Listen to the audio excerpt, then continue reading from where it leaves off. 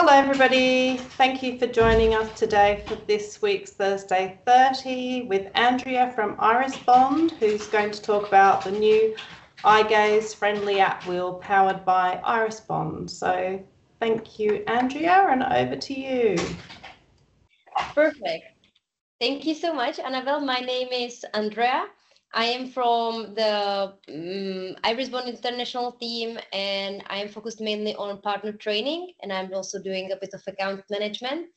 And uh, welcome everyone here, either now uh, or if somebody is uh, having a look on the webinar later, then welcome. And I would like to uh, speak, as uh, Annabelle said, about eye gaze Friendly App Wheel, which we um, like developed in here in Irisbond and I would love to make this webinar a bit more interactive. So I pre uh, like prepared few slides in Mentimeter.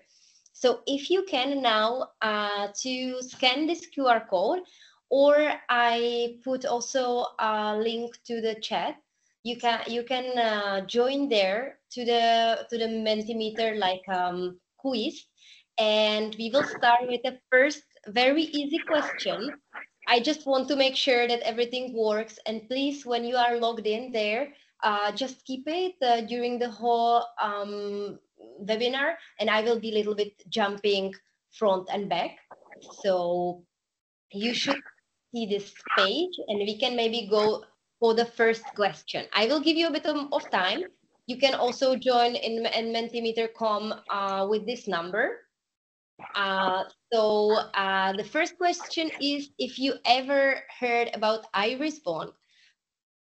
I hope it's going to be full blue. it's getting there. That's already very good. Perfect. So we have here still someone who never heard about Irisbond, which is very good because that's why we are here also today. So um, Irisbond is a tracking company, which is already 11 years old on the market. And we are making technology made by people. So made by all of these people that you can see on the screen. Each person has its own important role. And together we are creating technology for people, for people who need it. And um, it's we are we are collecting uh, feedback a lot from the market. We are trying to be very close to the end users. And if you uh, didn't ever ever heard about irisbond maybe you already hear about uh, hiru. And hiru is our um, latest technology and it's the first standalone eye tracker that is compatible with both with uh, um, windows operation system and also iPadOS. And um, this device gives a full range of possibilities because it's really one uh, eye tracker that you can just connect with the same cable to a Windows uh, device and also to iPad. And I would be quite interested, what uh, is your experience in eye tracking? So if you can join again the Mentimeter and you can let me know either if it's you are an expert in eye tracking, you are a beginner, or you maybe start, um, you are studying uh, something about eye tracking technology. Whatever you feel uh, it's good, you can type there. You need to, you can just type one response. You don't have to type three of them and you can just submit it. So let's see what are, what are going to be this, uh, the answer. Do you see the question? Yes. I can, I can see it. Okay, I just don't see any responses. Ah, perfect. Intermediate, I tried iPad, iPad, I, okay, perfect. Development, minimal. Okay, that's really good. I am, I am very happy to have here a little bit different levels. I also see mentioning iPad that that's, uh, that's very positive because I have here right now one more. Well, let's. I, I will wait a bit more. Seen it at school. That's all. That's also very good, and that's why we are here today. And I think that we can move forward. another one, which is which one did you try? Even if you tried or if you are working with it more, is it with Windows or is it with iOS or is it with both? I think you can also check both of the platforms. So you can let me know.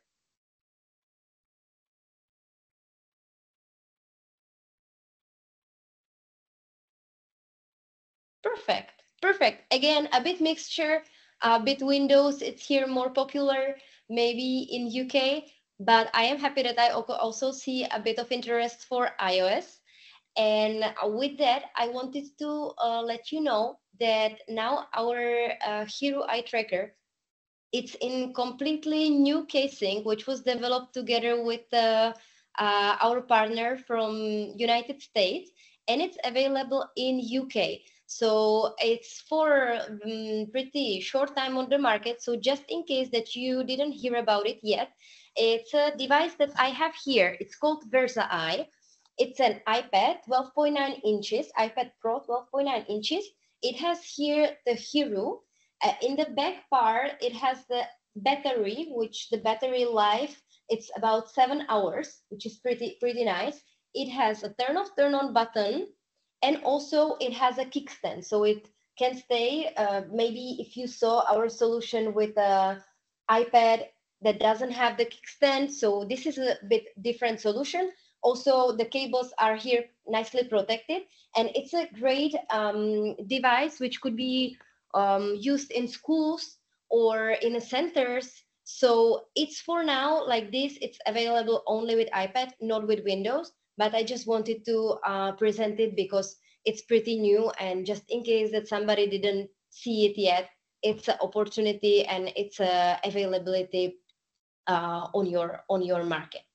And as someone from you also uh, mentioned that uh, is working on Windows and on iPad both, probably you know that in both platforms, eye tracking works slightly different and to be able to access whatever um, app, whatever um, software we need, we in I, in Windows, sorry, we need an additional software for computer control. So there are different options which we can have, and it's uh, either EasyClick. EasyClick, it's a computer control program which comes together with Hiru. Or there are also mouse simulators in MindExpress and Grid3, which are huge softwares which you definitely know.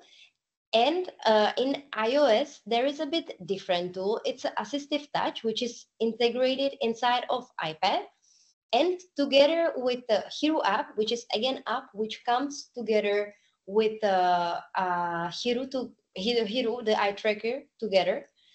These both tools also allow to access fully fully the iPad. So with these tools, which I presented, either some software or the assistive touch in iOS, we can access a huge amount of uh, different, different apps.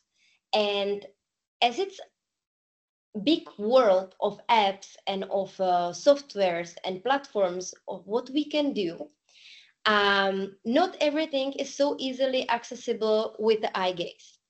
And there, therefore, we created our app wheel uh, that uh, each user can choose its proper app, which is like suitable for, for him. And um, we put all these huge, huge amount of apps on only one page. So uh, here you can see how the final app wheel looks like.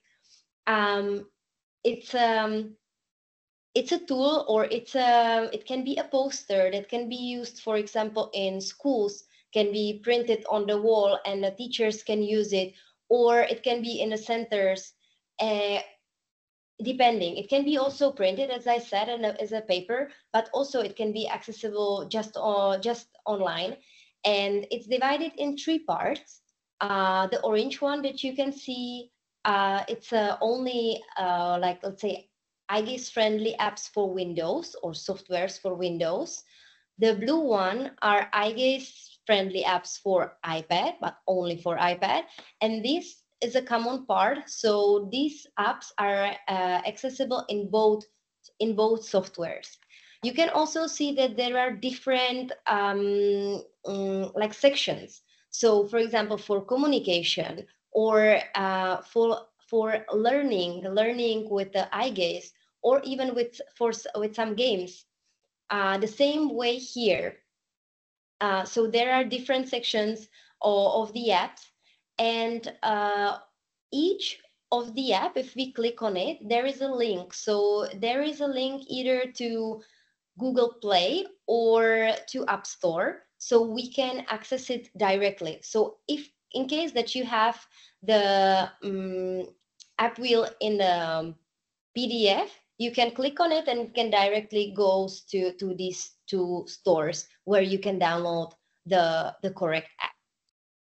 And um, as, as we know that it's a um, tool which is full of like games, learning uh, games, but also um, application for advanced users. We created, and it, it might be a bit confusing because maybe someone doesn't know if it's a correct game for him or not, or if it's a correct software for him. We also created um, little extension. So uh, this is an AppWheel extension, which is um, which you can find in our knowledge base. The app AppWheel, as I mentioned in the previous slide, is already public on our website, so you can find it easily there. And our knowledge base is also uh, on our website, so there is a lot of uh, product information in general. But now there is a new section as this app AppWheel extension, and um, it's because we know that there are different profiles of uh, users of the gaze. So there are early stage profiles, independent users, and many more. So that's why we created eight, for now, eight articles that includes um, iOS app guide, also iOS user profiles, and then user profiles for Windows, which also include suggested uh, apps for, for the specific profile.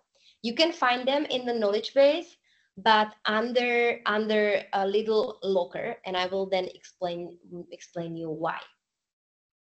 One section, as I mentioned, there are these iOS iOS app guide. So whatever app you can find in the app wheel in the part of iOS will be you will be also able to find it in this knowledge base extension with, with more deeper information. And um, here you can find explanation of the most common settings. So um, as I mentioned that in iOS, you need to work with assistive touch. So you need to work with the many settings inside of the iOS settings in general. And for someone can be a bit overwhelming. So that's why we try to make it easier. And for each app, we uh, provided a specific settings that that is good to use. So and this is only like a legend or um, only like a guide.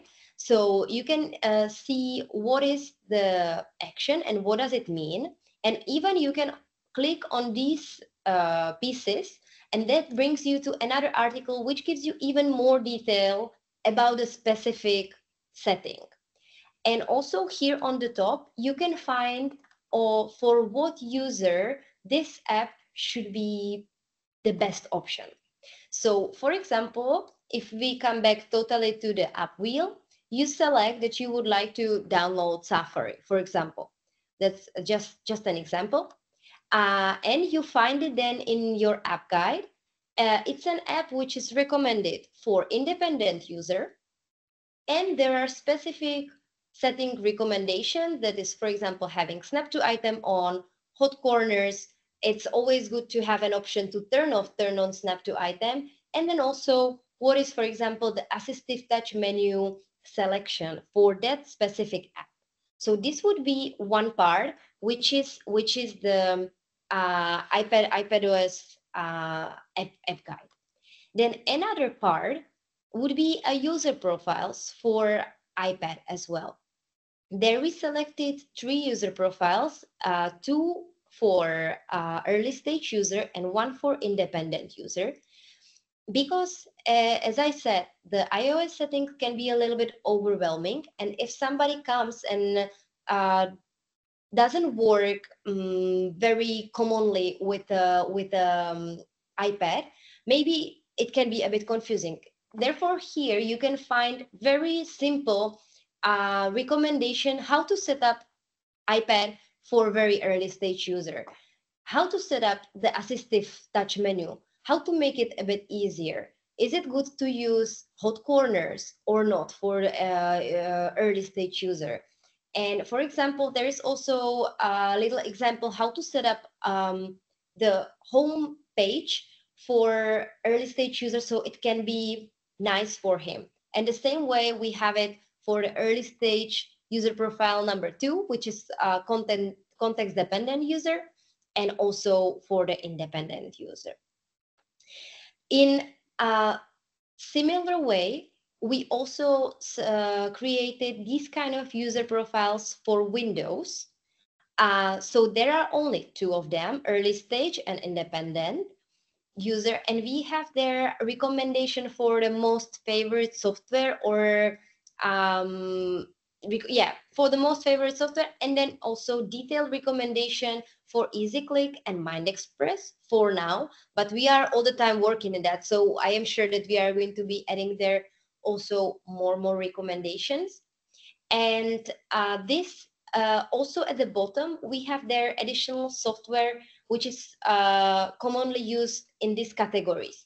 So as you can see on the GIF, there is a, a bit of like icons so for example, um, I don't know, look to learn or the, these softwares, these are again for early stage user.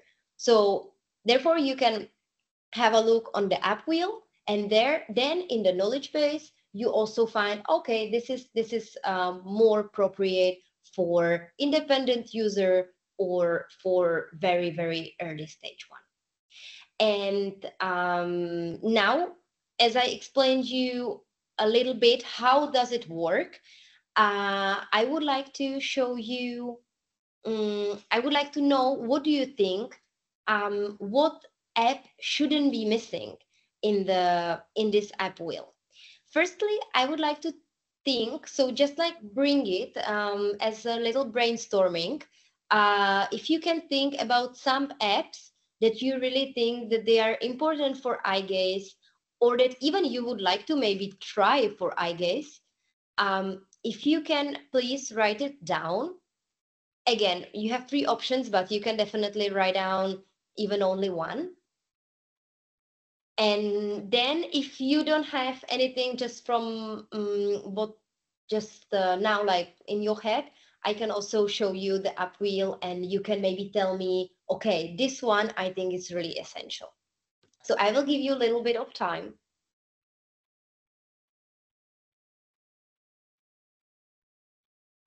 Greetings. Okay, it could be like some app for greetings or definitely some app which even consider the greetings. Some music app, okay.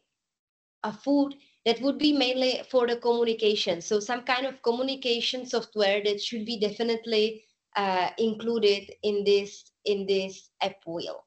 If I come just back uh, and I will show you fastly the app wheel. Mm, give me a second. It's here. If you have a look on it more in detail, because before I've a little bit fly away, uh, now you can add to the Mentimeter um, something what you really consider essential being there. For example, I believe that I, from my point of view, I would, for example, put a Grid3 because it's a big communication software, but also for computer control, for everything. But what you specifically think, what is very, very important? Environmental control.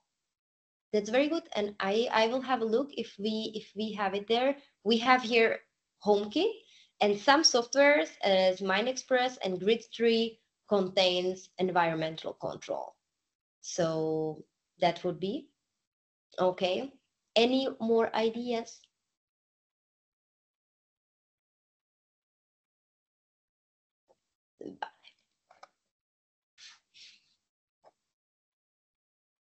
Then perfect. Then I will just skip again back to my later slide. And here's still hue lights. Okay, I will check that one because I, I don't know, I, I am not familiar with that. Uh, that one we check and I will have a look on it. Perfect, thank you. Thank you so much for participation in the app wheel. And uh, as I mentioned, AppWheel it's already now on our website, so you can check it, you can see it, and you can also download it, so you can print it, for example, for your class. But in case uh, that you would you are interested in the extension, so for example, for the knowledge base articles, as I mentioned, the iOS uh, app guide, user profiles, and also user profiles for Windows. Please either write me here your email address and if you don't want to write it here publicly just reach out to me to support uh, support uh, at irisbond because there if you if you reach out to me there i will respond you and i will uh, give you more information how to access it so this would be from my side, everything. And sorry, maybe even reach out to me in case that you are interested to learn about more about this solution. Uh, and I will either uh, put you in contact with a person or I will uh, share with you some support material or or something. But feel free to reach out to to support uh, at Irisbond for having um, answers for this solution, which is called VersaEye. And now, if you have any questions, please feel free to ask.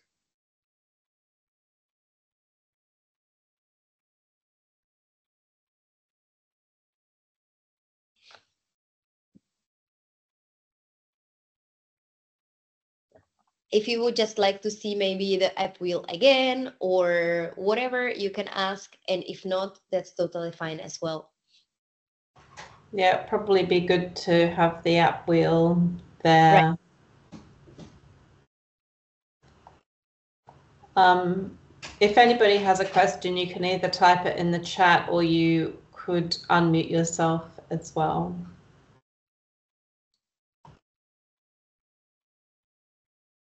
Everyone's very quiet. It's actually quite hard to read the apps on the app wheel. It is for me anyway. um, um, some people are probably more familiar with the app icons than me anyway, but uh, yeah. It might be, yeah, because we are very familiar. It's also a bit, it's a bit bigger in uh, reality. So maybe then later if you can find it on uh, our website you can just there you can see it see it more properly. It's also yeah, yeah it'd be good actually to have a link to that um that image and then when i put it up i can include um like that image to, so people can download it perhaps maybe later if you can find the link fastly uh, we could we could include it or if not i will uh, we will send it to you annabelle okay. great. Yeah it's already in the chat. You can find it there. I sent it a few minutes ago. Oh okay. Great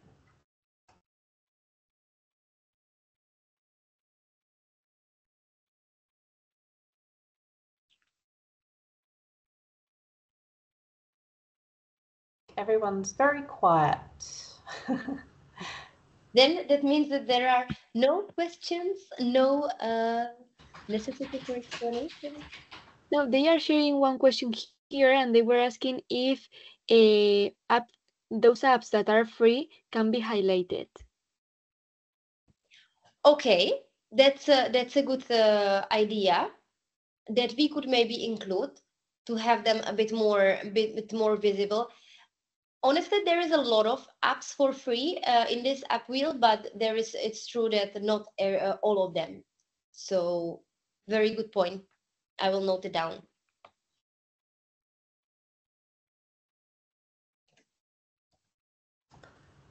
It sounds like nobody else going to ask any questions.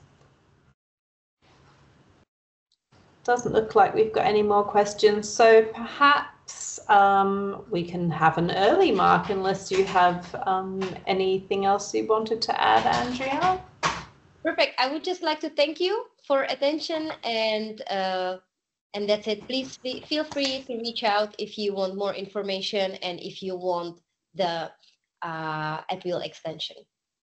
Great. Thank you very much. And um, no doubt we will be in touch again soon.